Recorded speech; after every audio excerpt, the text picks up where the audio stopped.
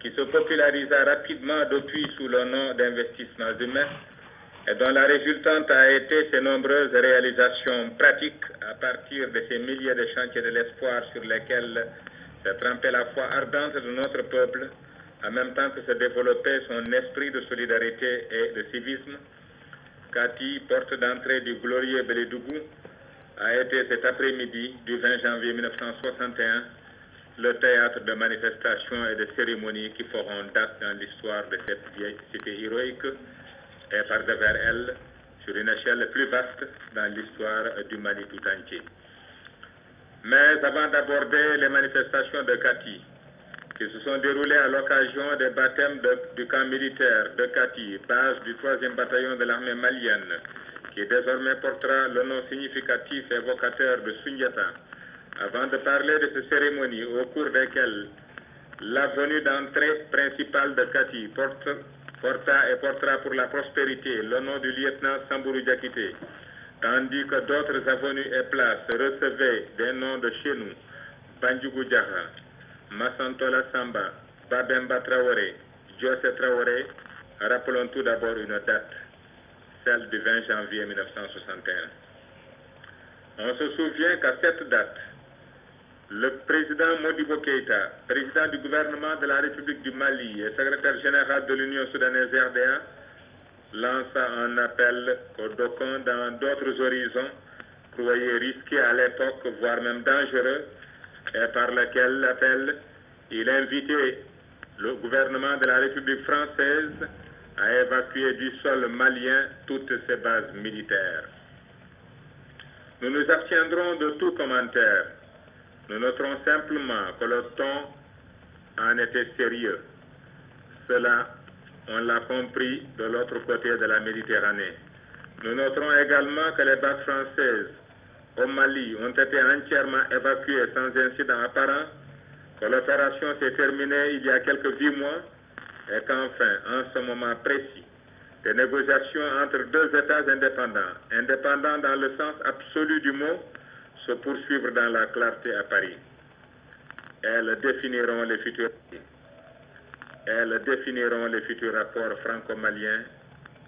L'histoire est irréversible, c'est la dynamique des choses. C'est en souvenir de cet appel que la grande place du camp militaire de Kati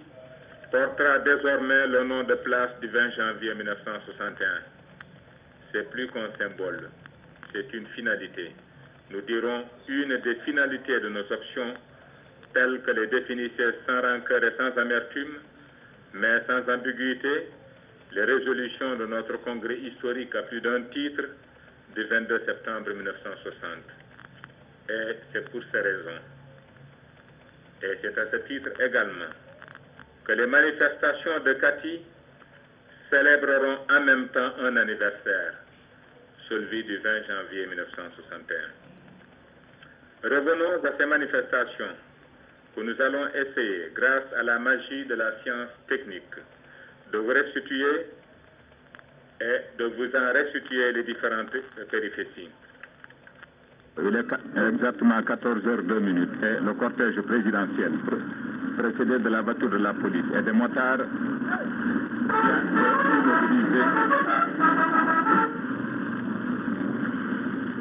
la puissante l'inconne du président du gouvernement de la République du Mali, du camarade Modibo Keïta, secrétaire général de l'Union soudanaise RDA,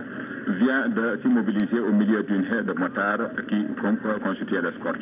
Le président en, compagnie, euh, complet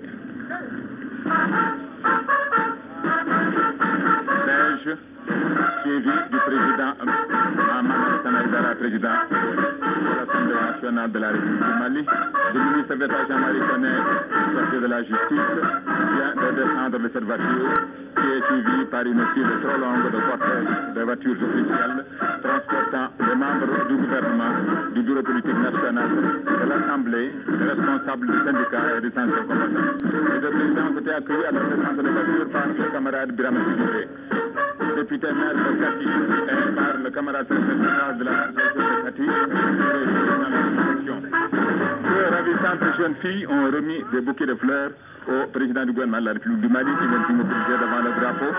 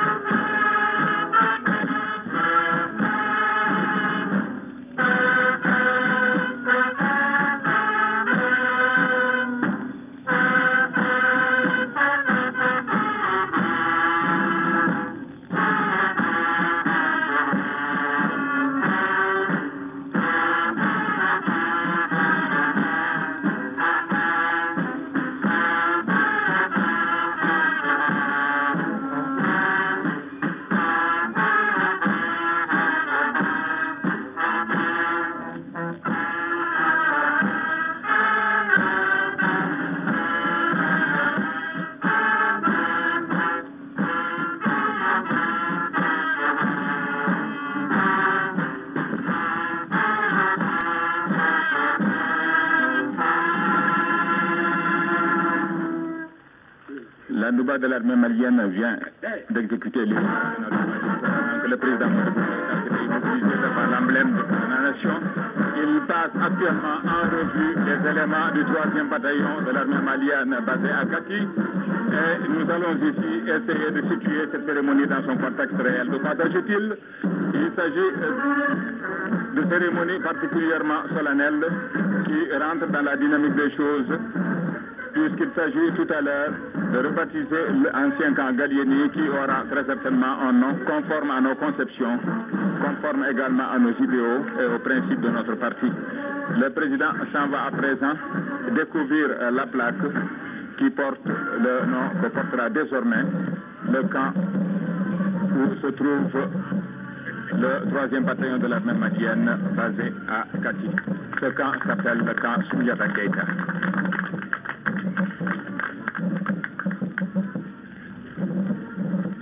Avez pu entendre les applaudissements des personnalités qui se trouvaient massées immédiatement à côté du président du gouvernement de la République du Mali, parmi lesquelles personnalités nous noterons la présence du général Soumaré, chef d'état-major général de l'armée malienne, à côté duquel le commandant Sekou Traoré, chef d'état-major de l'armée du Mali. Le président s'avance maintenant vers l'arc de triomphe pavoisé aux couleurs nationales et sur laquelle arc on dit gloire aux pionniers de la libération nationale. Et le coupe le ruban symbolique qui et ce geste symbolique consacre l'inauguration de l'avenue sur laquelle s'avance le président et les personnalités. Avenue qui s'appellera désormais, nous le verrons plus tard, le nom du Diana Samburu Diakité.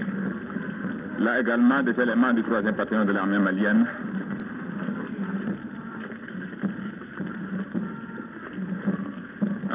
les honneurs au, au premier malien, suivi, comme je le disais tout à l'heure, des responsables du bureau politique national, du gouvernement et de l'Assemblée nationale. Vous entendez là-bas dans le lointain les 11 coups de canon qui saluent l'inauguration du camp Sundiata Keïda, aussi bien que de l'avenue Sambourou qui, comme trois autres avenues et deux places, vont recevoir des noms en rapport avec notre évolution politique, en rapport également avec nos options telles qu'elles ont été définies par le Congrès historique à plus d'un titre du 22 septembre 1960. Nous passons actuellement devant des jeunes femmes, devant une milice féminine qui présente l'arme d'une manière, d'une façon particulièrement impeccable. Et là-bas, dans le lointain, les canons de l'armée malienne continuent leur langage de réjouissance particulièrement imposant en égrenant les 11 coups de canon dont je viens de parler tout à l'heure.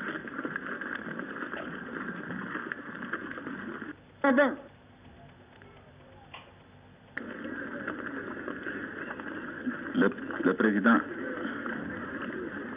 le président Modibo Keïta a passé successivement devant les miliciennes de Kati,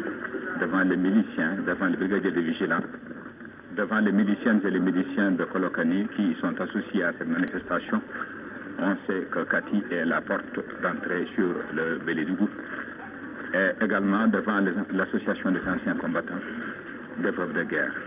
Il se dirige actuellement vers la tribune pavoisée, entièrement pavoisée aux couleurs maliennes, tribune qui fait face à une vaste place sur laquelle place est érigé un monument. Un monument qui sera tout à l'heure euh, rebaptisé, aussi bien que la place qui portera désormais un nom qui s'inscrit dans le cadre de l'histoire. Vous entendez là-bas les applaudissements des personnalités, applaudissements qui saluent l'arrivée du président Modibo Keïta, président du gouvernement de la République du Mali et secrétaire général de l'Union soudanaise Toujours euh, suivi des personnalités parmi lesquelles nous remarquerons, comme nous l'avons déjà fait tout à l'heure, la présence du président Maman Alassane Aïdara, président de l'Assemblée nationale, Jean-Marie Koné, ministre d'État chargé de la Justice, le camarade président Yacouba Maïka.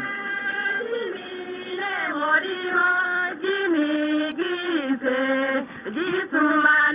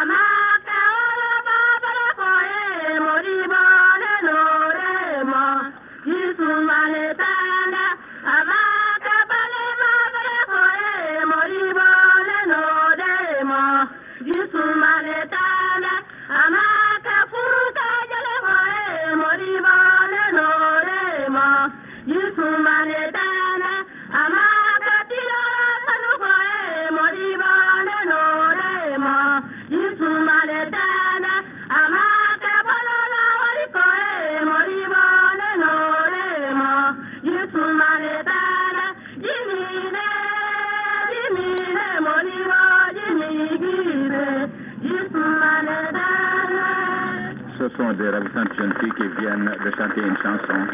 représentant la cérémonie de l'eau qui figure sur notre programme, chanson que nos auditeurs connaissent très bien pour l'avoir écoutée au cours des reportages que nous avons effectués à Kolokani. Et cette, eau et ces calebasses blanches lui ont été remises par ces trois jeunes filles à l'entrée de la tribune officielle abondamment pavée au pavoisée aux couleurs nationales et au milieu d'une haie de la garde rouge au milieu de laquelle va passer tout à l'heure le chef d'État malien. Nous le disions tout à l'heure, euh, parmi les personnalités, euh, notons-le bien, euh, figure également le, le, président Yacobo Maïga, secrétaire national de l'organisation du parti, ainsi que le ministre, le secrétaire d'État à la Défense, Mamoudou Diakité, dont on connaît sa présence à l'occasion de ces manifestations est particulièrement significative, puisqu'il est ministre de l'armée malienne, chargé de la défense et de la sécurité malienne, alors que la cérémonie essentielle qui se déroule actuellement, c'est surtout la dénomination du camp, l'ancien camp Galieni, qui prend le nom de camp Sundiata Keita, camp où se trouvent basés les éléments du 3e bataillon de l'armée malienne. Les personnalités prennent le, leur place respective à l'intérieur de la tribune, tribune dont je viens de parler tout à l'heure, et ils font face au monument monument entouré d'un très grand drapeau de banderole aux couleurs euh, nationales et dont l'inscription est masquée par les mêmes couleurs nationales, inscriptions qui seront tout à l'heure dévoilées au public. Des jeunes pionniers sont disposés actuellement en face de la tribune, c'est-à-dire en face du président du gouvernement de la République du Mali. Il n'est pas étonnant qu'ils exécutent euh, tout à l'heure un chant un chant qui s'inscrit dans l'ordre national, dans l'ordre des choses.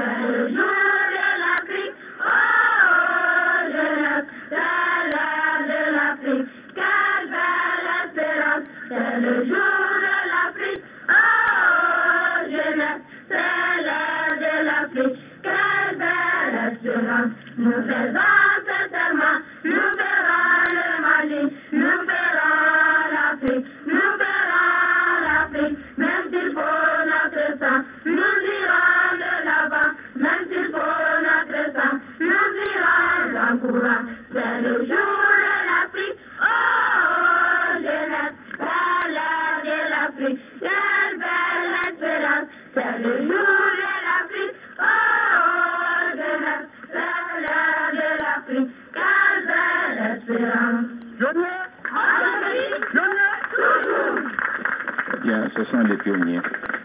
les jeunes pionniers de Kati, qui vient d'interpréter un chant particulièrement patriotique et particulièrement révolutionnaire, applaudi par les personnalités massées dans la tribune.